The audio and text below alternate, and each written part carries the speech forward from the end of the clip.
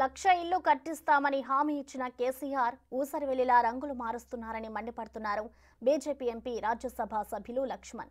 కేసీఆర్ ప్రకటించిన పథకాలలో ముప్పై శాతం కమిషన్లతో పథకాలు నడుస్తున్నాయని ఆరోపించారు. తెలంగాణ సంపదను దోచుకోవడంలో కేసీఆర్ సక్సెస్ అయ్యారంటున్న లక్ష్మణ్తో మా ప్రతినిధి Venkat face to face.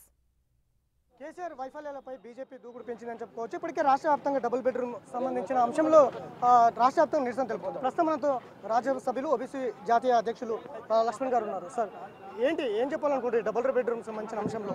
ప్రధానమంత్రి ఆవాస్ యోజన కింద నరేంద్ర మోడీ గారు దేశం మొత్తం మీద నాలుగు కోట్ల మందికి తొమ్మిది సంవత్సరాలు ఇల్లు కట్టిస్తే ఒక లక్ష ఇల్లు కట్టించలేక విఫలమైన ముఖ్యమంత్రి.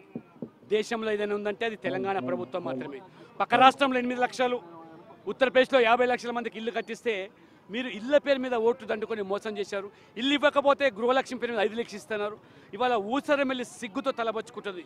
మీరు ఆ ఊసరవెల్లి వెళ్ళి రంగులు మార్చే దానికంటే మాటలు మారుస్తున్నారు. ఐదు లక్షలు కాదు మూడు లక్షలు అంటున్నారు. అది కూడా పట్టు మంది పది మందికి. దళిత దళిత బంధం మీద దళితులను దగా చేశావు. దళిత ముఖ్యమంత్రి నుంచి దళితను మోసం చేశావు. అందులో దళిత బంధులో ముప్పై శాతం కమిషన్.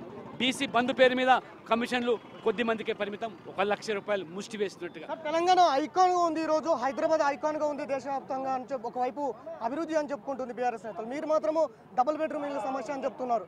ఎట్లా చూడాలి? ఇవాళ మీరు లక్ష ఇల్లు కట్టించలేని వారు ఇవాళ మేము అభివృద్ధి చెందంటే మీరు అభివృద్ధి చెందారు. బీఆర్ఎస్ నాయకులు బీఆర్ఎస్ మంత్రులు ఎమ్మెల్యేలు బాగా కోట్లు గడించారు తెలంగాణ సంపదను ఇవాళ ఏ రకంగా దోపిడీ చేశారో. వాళ్ళు ఎక్కడ చూసినా ఇవాళ land mafia sand mafia wine mafia. ఇవాళ మొత్తం మద్యం ఎరులై పారుతున్నది కానీ తెలంగాణ పేదల జీవితాలు చీకటిమైన కాబట్టే పేదల పక్షాన ఉండి భారతీయ జనతా పార్టీ ఉద్యమ party. BRS బీజే BRS Congress party ఎన్నికల జాబితాను సిద్ధం చేయడానికి ఉన్నారు. మీరు మాత్రం డబుల్ బెడ్రూమ్ ఇల్లు సమస్యలు అంటూ ముందుకు పోతున్నారు. మీ జాబితా ఎలా ఉండబోతుంది? ఎప్పుడు ఉండబోతుంది? తప్పకుండా మా ఎన్నికల దిగే బరిలో దిగే అభ్యర్థులు సంసిద్ధంగా ఉన్నారు. ఎప్పుడైనా ప్రకటిస్తాం. ఖచ్చితంగా గెలుపు లక్ష్యంగా ఇవాళ భారతీయ జనతా ముందు పోతుంది. బీజేపీ చేసే పోరాటం మీద ఒక క్లారిటీ లేదు అనేది బీఆర్ఎస్ నేతలు చెప్తున్నారు సార్. ఇంతకుముందు నిరుద్యోగుల మీద తీసిర్రు అందులో అవినీతి లేదు ఇప్పుడు డబుల్ బెడ్రూమ్ చేస్తున్నారు అనేది బీఆర్ఎస్ నేతలు. ప్రజా సమస్యల మీద ఉద్యమం చేస్తుంటే జీర్ణించుకోలేకపోతున్నారు. జవాబు చెప్పండి ప్రజల ముందు వచ్చి నిలబడి ఇల్లు ఎందుకు ఇవ్వలేదు దళిత బంధు ఎందుకు ఇవ్వలేదు బీసీ బంధుకి ఎందుకు ఇవ్వలేదో కొలువులు ఎందుకు ఇవ్వలేదో గృహలక్ష్మి ఎందుకు ఇవ్వలేదో చెప్పండి చెప్పి ఓట్ల కోసం రండి.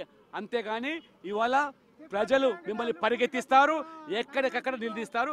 దానికి భారతీయ జనతా పార్టీ సార్ ఫైనల్గా పార్లమెంట్ స్థాయిలో ఇద్దరు బీసీలకు స్థానం ఇస్తుంది కాంగ్రెస్ పార్టీ మీ జాబితాలో ఉండబోతుంది. అరే ఇవాళ ఐదు మంది ఎంపీలు తెలంగాణలో ఉంటే ముగ్గురు బీసీలు.